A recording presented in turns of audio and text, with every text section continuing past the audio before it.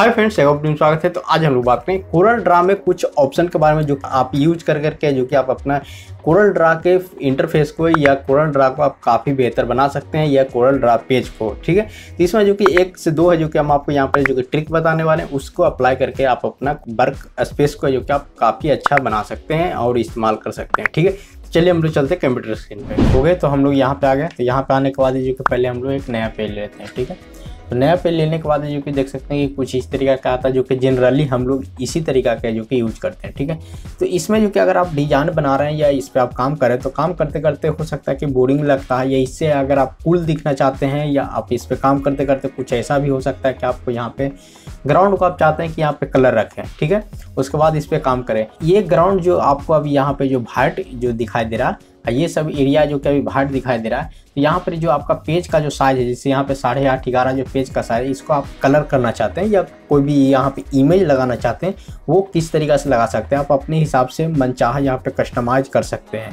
Colour को भी और इमेज को भी। किस तरीके से कर सकते हैं? तो सिंपल आपको यहाँ पे क्या करना है? यहाँ पे आपको टूल्स में आना है। टूल्स में आने के बाद यहाँ पे ऑप्शन में आना है, ठीक है? या आप यहाँ पे शॉर्टकट भी यूज़ कर सकते हैं कंट्रोल जे के साथ, ठीक है? उसके बाद यहाँ पे आने के बाद जो कि देख सकते हैं, कुछ इस तरीके का आएगा, सबसे पहला बार आपको। और यहाँ पे आने के बाद जो कि आपको यहाँ पर वर्क स्पेस खोलना है। वर्क स्पेस खोलने के बाद आपको यहाँ पे आ जाना है नीचे, ठीक है? डॉक्यूमेंट में। डॉक्यूमेंट में आने के बाद कुछ इस तरीके का इंटरफेस आएगा जो कि जिसमें आपको यहाँ पे जनरल पेज साइज़ ये लेआउट वगैरह, जैसे कि लेआउट होता है, जैसे कि अगर बुक बनाते हैं तो बुक के लिए जैसे कि यहाँ पर जो कि आप लेआउट बना सकते हैं। जैसे कि हम पहले भी आपको बताएँ तो यहाँ पर फिर से एक बार बता देते हैं कि देख सकते हैं। अगर जैसे हम लोग दो पेज लेते हैं तो इस तरीका से आपको दो पेज आ जाएगा और यहाँ पर जो कि काम कर सकते हैं, ठीक है? तो वो आपको यहाँ पर जो कि लेआउट में आकर के यहाँ पे कर सकते हैं, जो कि डॉक्यूमेंट में आपको यहाँ पे मिल जाएगा, ठीक है? वर्क स्पेस के नीचे यहाँ पे डॉक्यूमेंट रहेगा डॉक्यूमेंट में आकर के यहाँ से लेआउट लेआउट में आपको यहाँ पे टिक लगा लेना। अभी यहाँ पर हम अनटिक कर देते हैं। फिर से हम लोग कंट्रोल जे करते हैं और यहाँ पे आ जाते हैं और इसे जो कि यहाँ पे डॉक्यूमेंट खोल कर लेवल ये है ये लेवल जो होता है जो वो आपका ये पेज साइज़ बता रहा है ठीक है अब यहाँ पे उसके नीचे जो कि बैकग्राउंड है बैकग्राउंड पे आने के बाद कुछ इस तरीके का इंटरफेस आएगा यहाँ पे जो कि नो बैकग्राउंड है ठीक है उसके बाद जी यहाँ पे जो कि सॉलिड है ठीक है तो सॉलिड पे यहाँ पे क्लिक करना और यहाँ पे जो कि जो भी आप कलर यूज़ करना चाहते हैं या जो भी कलर रखना चाहते हैं तो वो कलर यहाँ पे रख सकते हैं जैसे कि यहाँ पे देख सकते हैं कि हम लोग अपने हिसाब से जो कि यहाँ पे कलर कस्टमाइज किए हैं फिर से कंट्रोल जे किए यहाँ पे आ गए बैकग्राउंड पे, यहाँ पे सॉलिड कलर जो भी आप लाइट रखना चाहते हैं, आप अपने ज़रूरत के हिसाब से आप यहाँ पे रख सकते हैं। ठीक है ना? तो फ़िलहाल हम लोग ये कलर रखते हैं और यहाँ से ओके करते हैं और यहाँ से ये। देखिए, अब जो भी पेज रहेगा, वो सारा का सारा पेज जैसे नया पेज भी ले रहा है, सभी पेज जो कि आपको इस तरीका के यहाँ पे कलर हो जाएगा। तो आप इस तरीके से भी कर सकते हैं। इसके अलावा अगर इस पर अगर आप चाहते हैं कि यहाँ पे जो कि हम अपना मनचाहा यहाँ पे कस्टमाइज यहाँ पे जो कि ईमेल लगा सकें ठीक है? तो वो भी आप यहाँ पे काफ़ी आसानी से जो कि लगा सकते हैं, ठीक है? तो सिंपल यहाँ पे अभी फ़िलहाल हम लोग इसको लैंड स्केप कर लेते हैं। कोई भी स्केप कीजिएगा, कोई दिक्कत ये जो कलर है जो कि एज ए टीज रहेगा ओके फिर से हम लोग यहाँ से कंट्रोल जे करते हैं ऑप्शन बार में आ जाते हैं और यहाँ पे आने के बाद देख सकते हैं कि ये सॉलिड है। सॉलिड के बगल यहाँ पे जो कि एक ऑप्शन आ रहा है जो कि बिटमैप का ऑप्शन आ रहा है, ठीक है? बिटमैप पे क्लिक करेंगे तो ये कुछ इस तरीके का आ गया। अब यहाँ पे जो कि ब्राउज करने का ऑप्शन आ रहा है, ठीक है? यहाँ से हम लोग ब्राउज करेंगे और हम लोग यहाँ पे डेस्कटॉप पे आएँगे।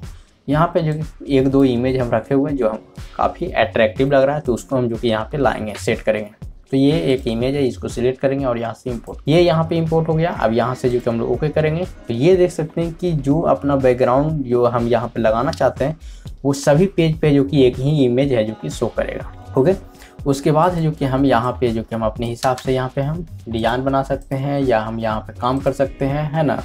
जो भी आप काम करना चाहते हैं या आप जो भी टाइपिंग करना चाहते हैं मतलब कुल मिलाकर आप यहाँ पर जो कि आप अपने हिसाब से जो कि यहाँ पे आप टाइप कर सकते हैं डिज़ाइन बना सकते हैं। मान लीजिए कि ये है जो कि आपको पेज हो गया, जैसे कि जो पेज इस तरीके का पहले वाइट रहता था, उसी तरीका से जो कि यहाँ पे ये पेज हो गया, ठीक है? आपको सिंपल ये एक कस्टमाइज कलर हो गया, ठीक है ना? आप अपनी ज़रूरत के हिसाब से कर सकते हैं। फिर से कंट्रोल जो करेंगे, यहाँ पे आ जाएँगे, फिर से यहाँ पे आएँगे, और यहाँ सब एक अलग तरीका का है जो कि एक इमेज यहाँ पे इंपोर्ट करेंगे ओके करेंगे, देख सकते हैं कि ये कलर आ गया।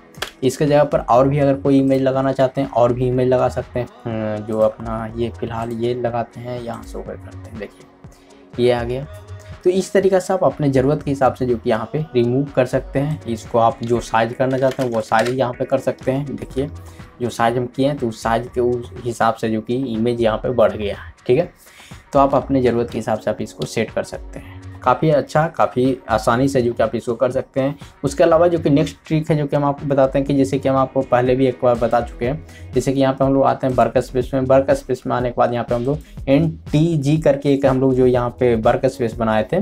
जिसमें हम आपको कलर के बारे में बताए थे। तो फ़िलहाल है जो कि हम लोग खुल करके आ गए हैं, जो कि हम लोग एन करके जो हम लोग वर्क स्पेस बनाए थे, यहाँ पे आ गए हैं। यहाँ हम लोग कंट्रोल जे करते हैं और यहाँ पे आ जाते हैं, ठीक है? अब यहाँ से जो कि देखिए यहाँ पर हम लोग क्या करना चाह रहे थे कि हम लोग कलर है जो कि यहाँ पे कस्टमाइज करना चाह रहे थे, ठीक है? अब ये कलर है जो कि देख सकते हैं, इस तरीके से आप यहाँ पे कर सकते हैं। जैसे कि आप लोग में से ही एक काफ़ी कमेंट आ रहा था कि हम लोग कुछ इस तरीके से हम लोग पैलेट बना सकते हैं कि नहीं?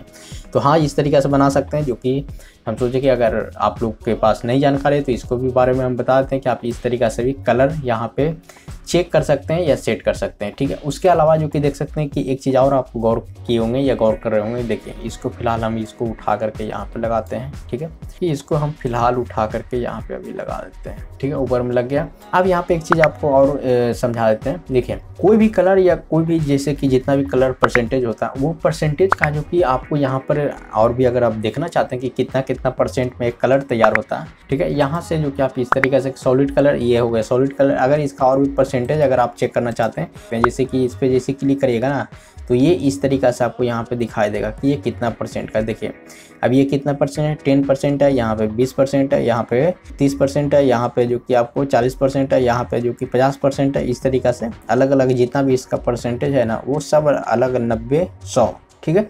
ये इस तरीक़ा से आप यहाँ से परसेंटेज भी चेक कर सकते हैं। जैसे कि यहाँ पे देख सकते हैं, ये सॉलिड हो गया, यहाँ पर है जो कि ज़ीरो परसेंट हो गया।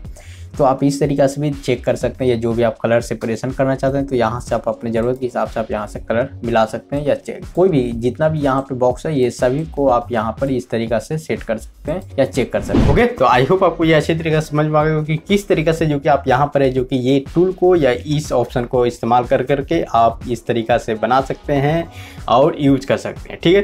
तो चलिए, मिलते वीडियो में। आई होप वीडियो होगा। वीडियो से लाइक कीजिएगा। ज़्यादा चैनल को सब्सक्राइब कीजिएगा। मिलते वीडियो में। इसी तरीके का वीडियो आपके लिए लाते रहते हैं। अगर आपका कोई क्वेश्चन है तो कमेंट कर सकते हैं, ये भी कमेंट कर सकते हैं कि नेक्स्ट वीडियो किस टॉपिक पर चाहिए, ठीक है?